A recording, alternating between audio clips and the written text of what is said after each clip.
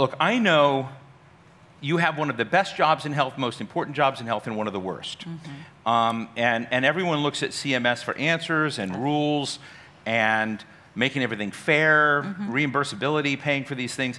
And I, and, I, and I know that one of the biggest um, uh, you know, uh, objectives you have right now is, is to address equity mm-hmm. and to address access and to even out that opportunity. And I guess my starting unfair question is how do you make the world out there believe that you're serious?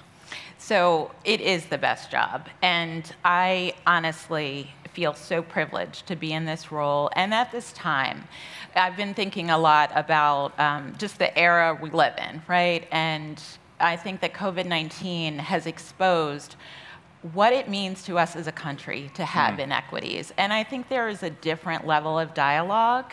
That is a, a, moment in time, and it's a brief moment. But I think there's just a different awareness. And as you probably know, I was in the Obama administration the Affordable Care Act is where you know my heart is. We did not use the words health equity during that time. People didn't talk about it. And now that is so much at the forefront of everyone that comes to talk to me. And so I think the way we take this moment and make it meaningful to last beyond my tenure is by making sure in every decision we are thinking about what are the impacts on the people who are underserved as well as the providers that provide care for the underserved. And that's a piece that I think um, is, is really important in, in, this discussion because I think as so many people see an opportunity, and I don't mean that in a negative way, but I think uh, a lot of the industry has embraced this idea of health equity. We want to make sure the actual people that care for people who are underserved are right. really part of this conversation. Right.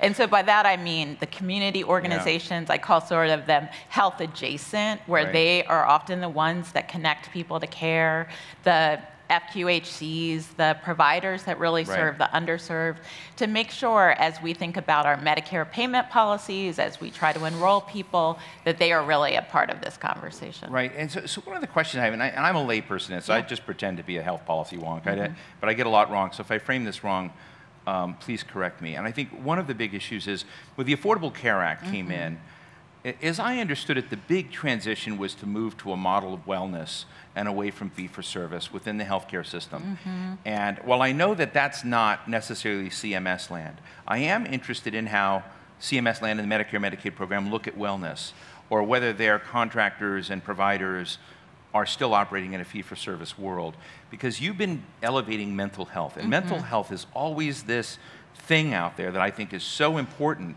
but in a lot of um, American health providers have a hard time laying out the economic foundation for robust mental health services. Mm-hmm. So I know that's a long way around of saying, how do you, how do you deal with the wellness uh, orientation within the world that you have mm-hmm. control of gravity?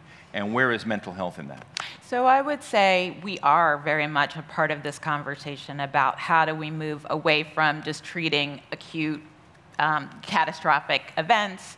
And when you think about the population that we serve, we now have over 150 million people that are covered by it's our catastrophic programs. events are us. Uh, yes, yeah. I mean we and uh, and um, and mental health is a core part of. Um, uh, uh, certainly of care, but really the people that we care for. So when you think about the crisis in this country on mental health, it's particularly in our elderly, mm-hmm. people who are in nursing homes, um, and the, on the other end, kids. And Medicaid and CHIP cover a lot of the children in this country. Mm. And so I would say a couple of things. We're really thinking about um, in our innovation center, C- um, CMMI, how we can develop models that really encourage more holistic care, mm. certainly through our health plans, whether it's in Medicare, whether it's in ACA marketplace coverage whether it's in Medicaid, really trying to make sure there is more of a holistic perspective. And that's one of the things we are really focused on, making about the person and less about a particular model for providers and really trying to make sure that we are keeping people at the center of it. And then to, to focus on mental health, this is a place where we are trying hard to work with other partners. So certainly um, the other parts of the uh, of HHS, like SAMHSA, like HRSA. I spend a lot of time with my colleagues there, really thinking about at the state level, how can we coordinate care better? Because you do have grant programs that serve mental health. Um, uh, services that could be better coordinated, say with the Medicaid program, um, and then continuing within our own program authority. So telehealth for mental health services is something that in Medicare um, we've just extended permanently. Medicare does cover a lot of mental health services in this country, and we're trying to use our authority in the, in the ways that we can to try to better. You know, I've been looking a lot at um, America's broadband picture and who's not digitally connected. Mm-hmm. Yes. And you go out and take a look at that, and we've done some geospatial mapping Mm-hmm. uh, of that, and you kind of overlay that with you know health um, outcomes and performance. And you look at the rural-urban divide, or you look at uh, information deserts or food deserts inside cities. Guess what? They're health deserts too. Yeah. So a lot of these problems that you're wrestling with are systemic, and other of your partners in government are wrestling with them too. Yes. Can't you all get together and just fix it? Well, we do spend a lot of energy trying to coordinate. And, you know, these programs have different congressional authority, and sometimes we have the ability to make these changes. Sometimes we're going to need um, congressional perspective. But we are trying as hard as we can to, to coordinate where we, where we can. And you are absolutely right. You know, we, we've seen our, uh, our colleagues at Age of Justice did a study on telehealth and found, yes, in some areas, great. In other areas, Black and Latino um, uh, people are using, um, are, are have less access to, uh, to, to video. And in rural areas where we need it the most, we're not seeing as much as the telehealth. What, what, so what is happening? Look, and, and again, uh, as a layperson, Mm-hmm. what I understand is that the um, reimbursability of telehealth during COVID was sound, Mm-hmm. and we may be getting wobbly Mm. today. Is that? I don't know if that's a fair assessment, but why are we getting wobbly, and is it CMS's fault? It is not CMS's fault. Um, CMS has uh, limited authority, and so Uh-huh. where we have uh, used our authority is we can um, make mental health services permanent, um, telehealth. Congress has extended telehealth beyond um, the public health emergency uh, for for five months, and that's something we need Congress to do. So while we're in So a after that five months expires, a lot of services that people have grown Yes. used to in telehealth may be ones that are no longer paid for. that's right, and we do not have author- we are Wouldn't uh, that, isn't that going to be like a tsunami hitting the health system? we are concerned um, and How concerned? DEFCON level? Uh, You know, so the, my biggest concern is around the unwinding, um, Huh. around the public health emergency of, um, of coverage. And Medicaid, we are at record levels of people enrolled in Medicaid and CHIP um, and marketplace coverage. And because of the public health emergency, uh, people have been on the Medicaid program um, without what we call redeterminations. And that is a process that um, often loses people. And it is imperative on all of us across all stakeholders to really focus on this. We are working with states to try to make sure that we hold on to coverage. But coverage is not, I like to say, necessary, not sufficient, right, for making sure that people have access to care. And the difference in people not having um, care is what uh, I, I would say we are most concerned about with the public health I. I ask this respectfully, and I don't know. You know, do your colleagues at CMS are they doing all that can be done around drug price negotiation, around you know thinking about you know costs of care, uh, thinking about how science is transforming methodologies and creating new opportunities that I hear sometimes do not fit within the Medicare, uh, Medicaid uh, parameters. Are there, should, should we be putting more pressure on your colleagues to find ways to work with the innovation sector or to work with um, things to, to both address, I, I guess the big tensions I feel out there, and I, you know, we have the pharma folks up here, are between grabbing science, delivering more opportunities, but making sure it's more equitably shared and distributed at a cost that makes sense for the country. You, do you know what I'm saying? I know what you're yeah, and, saying. And, I- and I'm not putting this on you, Right. but I, you, you run a huge organization that's out there. Yeah. And so, what should we, as taxpayers and citizens, be expecting on that front? This is something that we are absolutely trying to address in making sure that people are getting access to the innovative products that are coming on the market, which are exciting. I would say a couple of things, and then of course, people always want to put pressure on us, which we welcome. I, you know, that's How much do you welcome? Um, I would say on devices in particular, that's a place where Yeah. we, CMS, have been working with the FDA for really 20 years to try to streamline the process. We had a number of discussions, stakeholder open discussions over the last couple of months, and that is um, an area where we have said at the end, by the end of this year, that we're going to put out um, rulemaking to really try to streamline that process of uh, these emerging um, devices, and it's it's really an area of of attention and focus. That's really around the Medicare program. I think also I encourage people to really look to the states. There are so many things that are coming that really serve a younger population, and it's not always the Medicare's focus to cover some of these innovative products. Let's just say, you know, pro, uh, innovations that really affect births, right, or children.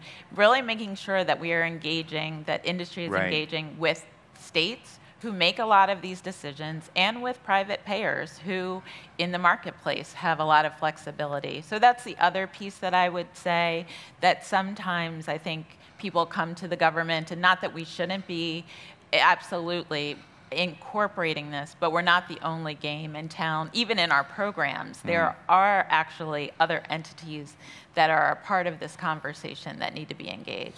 You know, I'm interested in show and tell um, in the sense that whether or not you've been able to identify a rural area, a Native American area, a, a, a community um, that has traditionally been left out of the health outcome opportunities of, you know, Beverly Hills or something, mm-hmm. you know? Yeah. And, and so when you look at that, if someone's been able to kind of change their stars a bit and figure it out, and whether or not you've been able to kind of find some of those stories and share them and learn from them, are they out there or are they really elusive? They are out there. I've been doing more traveling as of the last couple of months and was in Cleveland, Ohio, visiting um, a, uh, a, a just this organization that I was so excited about. They're very focused on maternal and infant health, and really seeing the city officials, all of the stakeholders around a room. I mean, not to interrupt, but our maternal um, We mortality rates are insanely bad. They are right? horrible. Yeah. And, you know, the vice president has made this a priority. We are um,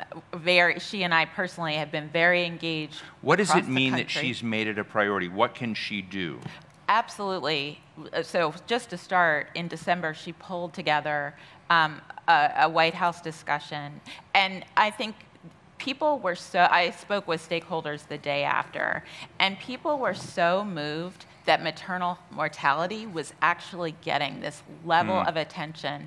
Uh, you know, and, and women actually telling these terrible stories about everything being fine um, as their daughter um, was delivering, and then a couple of hours later, they hear their daughter is dead because of hemorrhaging that wasn't um, controlled for. So it, it- she has made this a whole of government approach, pulled together a maternal health cabinet where all of us are on the hook for um, producing um, initiatives. We at um, CMS obviously have a big role in this. So some of the things we've been And doing. are, are you able to write about this, show this, and say, hey, Yes. folks, here's some best and promising methods? That's right. So we've been Yeah. announcing these um, maternal health blueprints. Um, more information will be coming out very shortly from us, CMS, about the work we're doing. We've been working with states on postpartum coverage, which is one of the key, not only, but um, a key issue. I, as a mother, say, like two months after you give birth, the last thing you're trying to figure out is switching health insurance. Well, millions of people have to do that. Right. And so we're seeing states who are expanding coverage through the 12 month postpartum period, which is a huge game changer in terms of making sure that women, that babies actually go to the doctor. You know, I asked somebody um, earlier this morning what was the most important thing I could talk to you about, and, and they gave me, you know, the, the, the worst, most boring topic, and I've avoided it until now, and we have 36 seconds. But, um, but they said payments, payments reform Oh, yes. is like, and I just, my eyes glaze over when I hear it, but I know it's a huge issue in your world. Why is it a huge issue? issue?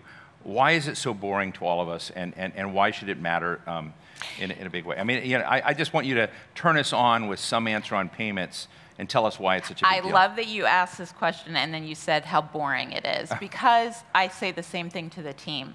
Nobody wants to hear we're going to change the payment rates for providers and make them do blah, blah, blah.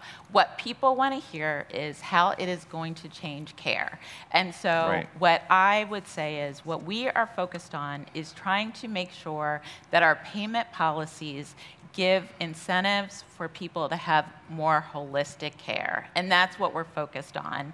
The way um, our traditional fee for service statute is written, it doesn't always do that. And so we are trying to make sure that our payment reforms really give incentives to a whole range of providers to provide more holistic care. Back to your point about mental health, that primary care, that some of these sup- special supports, dementia, making sure caregivers are cared for, that we actually give incentives for people to provide those services, not just you come to the doctor and get your blood pressure checked. I appreciate it, and I'm still awake. So thank you for that answer. Chiquita Brooks LaSure, Administrator of the Centers for Medicare and Medicaid Services, thank you Thank so much.